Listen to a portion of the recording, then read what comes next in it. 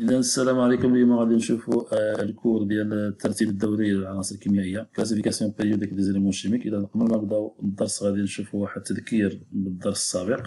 اذا rappel du cours précédent نشوفوا la configuration électronique de quelques atomes اذا عندنا توزيع الكتروني ديال ذرات الهيليوم K جوج. بالنسبة لليثيوم Z كتساوي 3 K 2 L 1 وبالنسبة للكلور Z تساوي 17 تتوزع آه، الإلكترونات حول نواه ذره الكلور على شكل K 2 L 8 M 7 ثم شفنا كذلك في الدرس السابق ما يعرف بالغازات النادرة.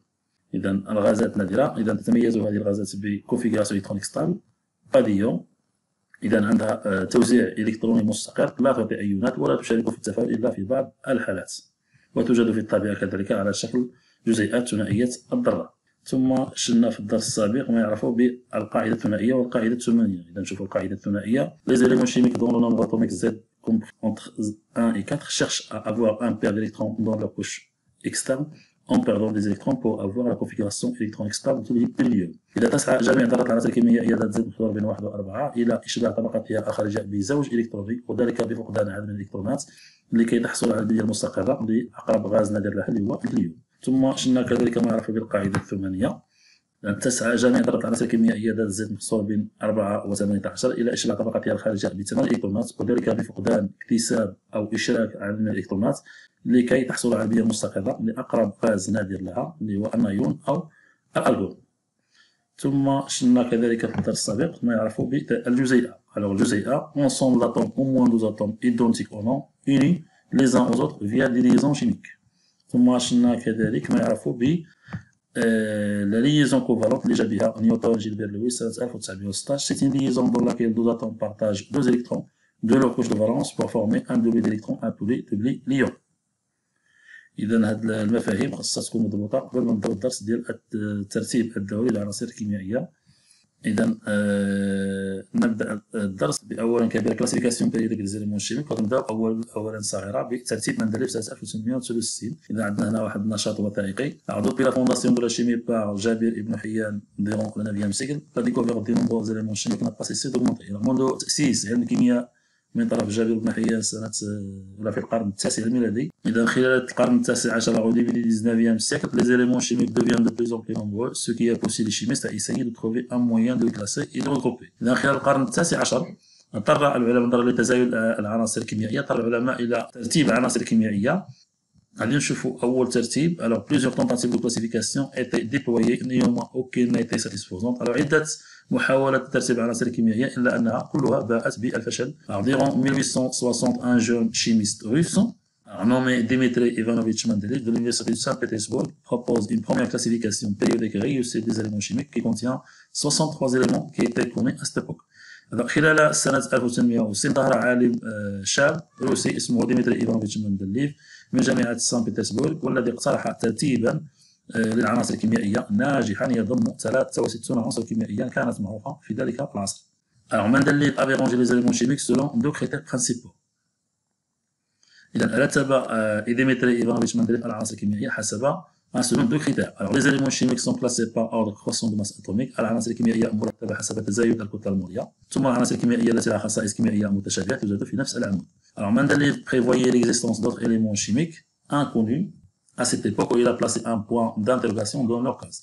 إذا كما تضمن ديمتري إيفانوفيتش مندليف بوجود عناصر كيميائية لم تكن معروفة هذه ووضع علامة استفهام في الخانة الموافقة لكل عنصر كيميائي. Ces éléments chimiques ont été découverts plus tard par, euh, et leurs propriétés physiques étaient semblables à celles déjà prévues par مندليف. هذه العناصر الكيميائية لها خصائص كيميائية مشابهة تماما كما تضمن ديمتري إيفانوفيتش مندليف.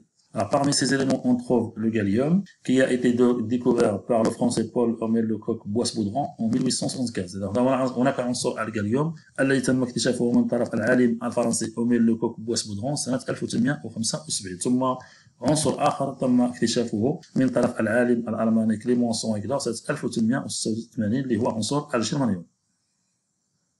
إذا غادي نشوفوا بعض الأسئلة للاستثمار. Alors, question à exploiter. السؤال الأول. comment combien d'éléments chimiques apparaissent dans la classification de ديمتري ايفانوفيتش مندليف اذا كم يضم ترتيب الدوري للعناصر الكيميائيه لمندليف au tableau de classification de مندليف contient 63 éléments chimiques alors B comment sont classés les éléments chimiques selon مندليف اذا كيف رتبت العناصر الكيميائيه حسب مندليف اذا قلنا ديمتري ايفانوفيتش مندليف يعتبر العناصر الكيميائيه حسب selon deux critères alors les éléments sont classés sont classés par ordre croissant de leur masse atomique والعناصر الكيميائيه التي لها خصائص كيميائيه متشابهه توجد في نفس العمود question C quelle est la signification des points d'interrogation dans le tableau de Mendeleev ما هو المفهوم علامات الاستفهام المتواجده في جدول مندليف اذا les points d'interrogation dans tableau مندليف indiquent ces éléments chimiques n'étaient pas encore découverts هذه العلامات الاستفهام تدل على ان هذه الانواع الكيميائيه وهذه العناصر الكيميائيه لم تكن معروفه ولم تكتشف في عهد ديمتري ايفانوفيتش مندليف السؤال الاخير déterminer le rang de classification du gallium Ga masse atomique égale 70 et est-ce que cet élément chimique était connu à l'époque اذا حدد مكان تواجد عنصر الجاليوم في الترتيب الدوري للعناصر الكيميائيه من طرف مندليف هل كان هذا العنصر الكيميائي؟ معروف في عهد ديمتري إيفانوفيتش مندليف إذا عنصر الجاليوم عنده الكتله المولية 70 إذا le gallium se trouve dans le numéro 1 2 3 4 اذا هذا العنصر الكيميائي لم يكن معروف في عهد ديمتري إيفانوفيتش مندليف بل تم اكتشافه من طرف عالم فرنسي اسمه إميل لوكوك بوسبودون سنة 1875 اذا ننتقل إلى آه، ثانية صغيرة. غادي نشوفوا الترتيب الدوري الحالي للعناصر الكيميائية. اذا كنشوفوا هنا ثمانية ديال الأعمدة. اذا من الهيدروجين الهيليوم الليثيوم البريليوم البور الكربون الأزوت الأكسجين fluor النيون الصوديوم المغنيسيوم الالومنيوم السيليسيوم الفوسفور الكبريت ال soufre الكلور والارغون les éléments chimiques dont leur configuration électronique possède le même nombre d'électrons sur leur couche de valence se trouve dans la même colonne. العناصر الكيميائيه المتواجدة في نفس العمود عندها نفس عدد الالكترونات في الطبقة الخارجية. بالنسبة للهيدروجين والليثيوم والصوديوم العمود الأول عندهم الكترون واحد في الطبقة الخارجية. بالنسبة للعمود الثاني اللي فيه البريليوم والمغنيسيوم جوج الكترونات في الطبقة الخارجية. وبالنسبة للعمود رقم ثلاثة اللي فيه البور والالومنيوم فيه ثلاث الكترون الطبقة الخارجية. ثم العمود رقم أربعة اللي فيه الكربون والسيليسيوم كانوا يبقاو أربعة الكترون الطبقة الخارجية. ثم العمود رقم خمسة اللي فيه الأزوت والفوسفور خمسة الكترون الطبقة الخارجية. ثم العمود رقم ستة اللي كيضم الأكسجين والكبريت اللي عنده ستة الكترون الطبقة الخارجية. ثم العمود رقم سبعة اللي فيه ال fluor والألومنيوم عنده سبعة الكترون الطبقة الخارجية. ثم أخيرا العمود رقم ثمانية. ما عدا الهيليوم فيه 8 الكترون في الطبقة الخارجية. ثم نشوفوا الخاصيه أخرى للجدول الدوري المتصل بالعناصر الكيميائية. alors les éléments chimiques qui se trouvent dans la même ligne ou période ont le même nombre de العناصر الكيميائية المتواجدة في نفس السطر أو الدور عندها نفس عدد الطبقات على نفس عدد الطبقات إذا بالنسبة للدور الأول فيه طبقة واحدة الدور الثاني جوج الطبقات كل. بالنسبة لجميع العناصر من الليثيوم البريليوم البور الكلور الكربون عفوا الأزوت والأكسجين والفليور والنيون بالنسبة للدور رقم ثلاثة اللي فيه الصوديوم والمغنيسيوم والالومنيوم والسيليسيوم والفوسفور والكبريت والكلور والارجون ثلاثة ديال الطبقات. ثم هناك خاصية أخرى للجدول الدوري المختص بالعناصر الكيميائيه alors سواء إكس y دوز اتوم nous avons غولاسيون نعتبر ذرتين إكس و y متواجدين في نفس العمود. إذا عندنا يحققان العلاقة. العدد الذري اللي يساوي العدد الذري للذرة إكس زائد 8 لأن 8 هو هي الدورية ديال الجدول الدوري. لأن عندنا 8 أعمدة. وبالتالي نضيف 8 إلى المعادلة.